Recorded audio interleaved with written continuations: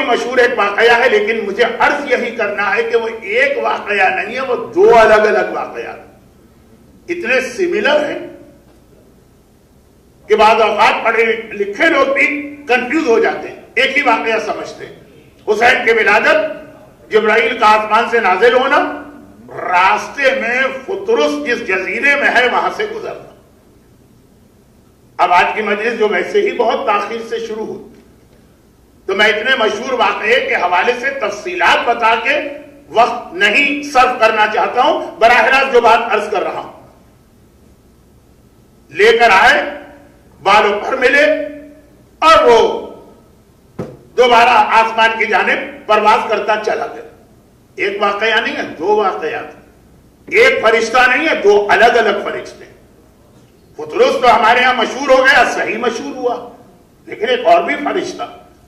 ये भी बालों पर से महरूम वो भी बालों पर से महरूम इसने भी जब ये देखा कि आज जमीनों आसमान ऐसी खुशी की आलम में है तो पूछा था, जब्राइल, आज वाकया क्या पेश आया कि आसमान भी झूम रहा है, ज़मीन भी मुस्कुरा रही?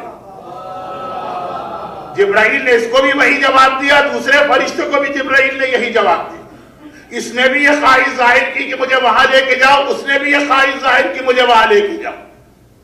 अब जो दोनों आए अभी तक वाकया बिल्कुल यकसा सिमिलर जब आए तो रिवायतों में है कि एक को हुसैन के गहवारे से मस किया बालों पर मिले, एक को हुसैन के बदन से मस किया और बालों पर मिले। दो अलग अलग वाकयात जो शुरू से लेके सेकंड लास्ट जुमले तक एक जैसे चल रहे। जब आखिरी मरहला आया तो वहाँ एक फ़र्क हो गया।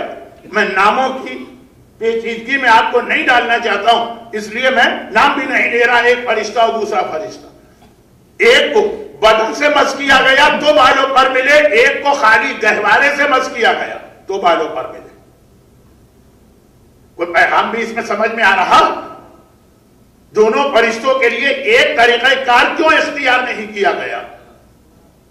इसमें कोई पैगाम समझ में आ रहा? जी हाँ, पैगाम समझ में आ रहा। और वो ये है कि अगर दोनों फरिश्तों को हुसैन के जिस्म से मस करके बालों पर मिल जाते, तब भी एतराज़ करने वालों के पास एतराज़ का एक मौका होता।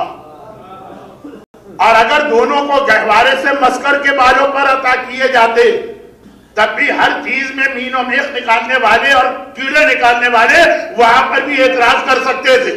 खुदा ने कहा, एतराज़ का यह दरवाज़ा भी बंद करना, एतराज़ का वो दरवाज़ा भी बंद करना। एक दरवाज़ा दुश्मन खोलेगा, एक दरवाज़ा सो कॉल्ड अपने आप को हुसैनी कहने वाला खोलेगा। अब वहाँ क्या एतराज़ आपके भी सुने हुए हैं बहुत ज़्यादा कि अगर यह कहा जाता कि गहवारे से मस्करो दोनों को दोनों को गहवारे से मस्करो, तब भी एक एतराज़ होता। जिसम से मस्करो तब भी एक एतराज़ होता। गहवारे से मस्करो से क्या एतराज़ होता? भाई, दुश्मन का जहन रख के सोचिएगा, अपना मोमिन जहन थोड़ी देर के लिए पर्दा डाल दीजिए, दुश्मन का जहन। क्या एतराज़ होता? एतराज़ अगर दोनों को गहवारे से मस किया जाता और वो बालों पर हासिल करते तो एतराज़ करने वाला एतराज़ करता। हुसैन में कोई खसूसियत नहीं। खसूसियत गहवारे में खसूसियत उस लकड़ी में है। और फिर क्या आगे चीज़ें बन जाती है? बहुत मुख्तसर सा वाकया भी समझ लीजिए। हैदराबाद दक्कन के भी कुछ मोमिन इस मजलिस में हैं अगर के बहुत कम है, लेकिन है। हैदराबाद दक्कन की एक मजलिस का वाकया। मेंबर की तारीख पे आज तक सबसे बड़ा जो खतीब आया, उर्दू मेंबर। कहा जाता है कि शमसुल उलमा मौलाना सिद्ध हसन साहब आल्लाह मुकाम मेंबर की तारीख में, उर्दू मेंबर में इनसे बड़ा खतीब आज तक कोई नहीं आया। और साहिबान इलम को बता कि बाद के उलमा जाकरी के जो निकात या नुकात बयान करते हैं, वो सारे या अक्सरियत उसमें। मौलाना सिद्ध हसन साहब ही की है। हैदराबाद दक्कन में मजलिस पढ़ रहे और सामने निज़ाम हैदराबाद बैठे और एक मरतबा बयान हो गया जंगे खंदक।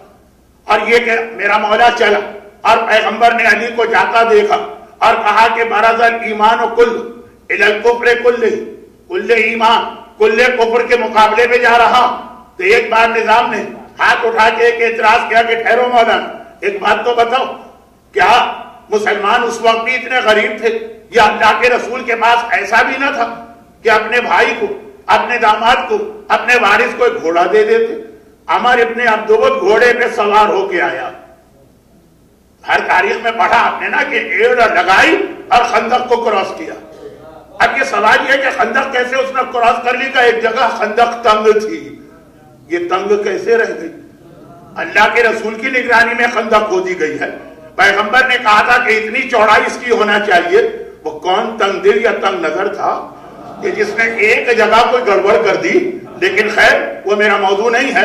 घोड़े पर सवार होके आया। और मुसलमानों का रिप्रेजेंटेटिव और नुमाइंदा पैदल जा रहा। घोड़े पर आया तो यहाँ भी पैगंबर एक घोड़ा तो जंगे बदर तक में मिल गया, जबकि मुसलमान सबसे गरीब थे जंगे बदर तो आखिर क्यों? हाँ जी जी। मजलिस तो इन्होंने पढ़ दिया कि एक मरतबा मौलाना ने वही बरजस्ता जवाब दिया। कि आपको क्या पता मुसलमानों के बारे में? अगर अल्लाह के रसूल ये कहते, घोड़े पर अली को बिठा के कहते, कुल्ले ईमान जा रहा। मुसलमान कह देते कि पता नहीं चल रहा है कि अली को कह रहे हैं कि घोड़े को कह रहे हैं।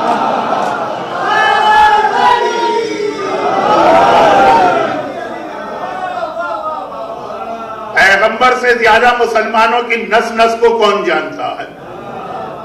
कोई कहने वाला कह देता वो अली को थोड़ी कहा गया। घोड़े को कहा गया, कुल ईमान जा रहा है। भाई, घोड़े के बारे में ये जुमला तो मशहूर हो गया ना मुसलमानों में। खैबर की लड़ाई में खुला साहब वापिस आ गए। मुसलमानों ने कहा, वो नहीं आए, घोड़ा भाग के आया था। वो बेचारे क्या करते, वो तो घोड़े पे बैठे थे, जहाँ घोड़ा गया, वहाँ वो भी चलेगा तो अब ये जो मौलाना ने जवाब दिया ना, ये जवाब अपनी जगह पे, बहुत मुकम्मल जवाब है अगर आप ये गौर करें कि आगे चलकर खैबर के हवाले से ऐसी ही एक हदीस बनाई गई बनाई गई है, खैबर के हवाले से। अब खैबर को मरहला है कि जहाँ पे दुश्मनान अहले बैत के पास कोई जवाब नहीं मिल रहा इस बात का। खंदक में तो अली गए थे ना, खैबर में तो दूसरे भी गए थे। सब वापिस आए। पैगंबर ने जब ये कहा ओतयन रायत हदन रजोलन कर्रारन खैरा फर्रा पूरी रात लोगों को नींद नहीं आई। अली गए, खैबर पता करके आए, क्योंकि मेरा मौजू बहुत बड़ा हो गया है, और एक वक्त में मुझे बात खत्म करना तो समेट रहा हूँ, वरना आप हजरात जिस दिलचस्पी से मजलिस का यह हिस्सा सुन रहे हैं। अभी तो दूसरा हिस्सा भी आने वाला है। खैर जिस दिलचस्पी से सुन रहे हैं तो खतीब का भी दिल चाहता पढ़े जाओ लेकिन नहीं, जो असल मकसद है उसको भी जहन में रखना है। तो अली गए और आए। मालूम है क्या रिवायत बनाई गई? कि सारी रात सारी रात मुसलमान अलम के लिए तड़पे, हर एक को मालूम, सारी रात जागे। वो शब्बेदारी अलग थी, आपकी शब्बेदारी अलग। लेकिन रिवायत क्या बना दी गई अब? रिवायत ये बनाई गई है कि इसलिए अलम के लिए हर मुसलमान तड़प रहा था। कि ये अलम मेरा अंदाज नहीं है इसलिए मैं नाम नहीं लूँगा, लेकिन मजमा ऐसा समझदार है कि नाम लिए बगैर समझ जाएँगे। माँ की बात कौन कौन नहीं समझेगा? कहा कि ये अलम अम्मा की चादर या ओहंडी से बनाया गया था। यह अलम जो था ना, ये खुला खातून का दुबट्टा था। खुला खातून की चादर थी या खुला खातून की ओढ़नी थी। जिसे पैगंबर ने अलम बना के खैबर में इस्तेमाल किया, उसकी वजह से मुसलमान तड़प रहे थे। हमने देखा अपनी आँखों से कि खाली हमारा अंदाज़ा नहीं है कि मुसलमान घोड़े को ही कुल्ले ईमान कहते थे हमने देखा कि वाकन तारीख में ये जुमला आ गया कि जी वो चादर वो ऐसी मुकद्दस थी, वो दुबट्टा इतना काबिल एहतराम था। कि जिसकी वजह से हर एक को तड़प थी, वरना खैबर के अलम में और कोई खसूसियत नहीं है। तो अब अब अगर खाली गहवारे से मस करके बालों पर मिलते तो गहवारे की भी खसूसियत आ जाती कि भाई ये दरख्त जिससे ये गहवारा बनाया गया, फुला साहब ने अपने बचपने में कभी ये बोया था, उनके हाथों की बरकत से ऐसा काबिल एहतराम दरख्त बन गया कि जब उसकी लकड़ी से गहवारा बना तो बालों पर मिले। हुसैन के उस गहवारे में लेटने की वजह से नहीं, फुला साहबी के ये दरख्त बोने की वजह से। तो इसे बात अच्छा और बात जरा आगे बढ़ती। अब बात आगे बढ़ती। आज भी हमारे हमारे अब बात हो रही है, वही जो अभी मैंने शेर का हवाला दिया। ऐसे लोग पैदा हो गए। आज पैदा हो गए लेकिन हो गए। जो ये कहते हैं अभी तो पहले मरहले में ये कह रहे हैं, पता नहीं अगला मरहला क्या आएगा, बल्कि शायद आ भी गया हो। लेकिन हाँ हाँ हुसैन, काबिल एहतराम, हुसैन, शफी, हुसैन जन्नत और नहर के कसीम अपने बाप की तरह, हुसैन जवाना ने जन्नत के सरदार, वो सब ठीक है। मगर, हुसैन की फजीलत है। आलम में क्या रखा है? नवजुबिल्ला लकड़ी लकड़ी का टुकड़ा। जरी में क्या रखा हुआ है? या जरी की छवि में क्या है? या ताबूत में क्या है? या जो हमारे जुलूस में अली असगर का गहवारा निकलता है? इसमें क्या है? असल हुसैन, बाकी चीज़ों की कोई अहमियत नहीं। यह हमारी कौम में कहा जा रहा है। गैर को फतवे देते ही थे, लेकिन अब अपने नौजवान। और इनमें से बात कम इलमी के बावजूद मेंबर पे आ जाते हैं तो यही चीज़ें मेंबर से भी आ जाती हैं। कि खाली लकड़ी का एक टुकड़ा है का एहतराम ज़रूरी नहीं है, ताबूत का एहतराम ज़रूरी नहीं है गहवारे का एहतराम ज़रूरी नहीं है, जरी का एहतराम ज़रूरी नहीं है। तो वो जो फरिश्तों में से एक का वाकया बता रहा है कि जो जो चीज़ हुसैन से मंसूब हो जाए।